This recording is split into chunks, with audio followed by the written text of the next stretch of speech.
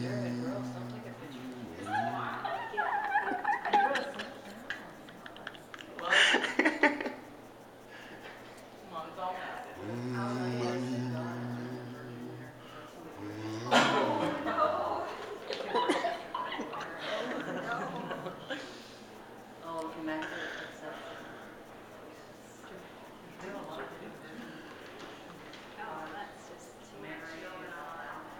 it's just about that one? Conquest of New World. Nice.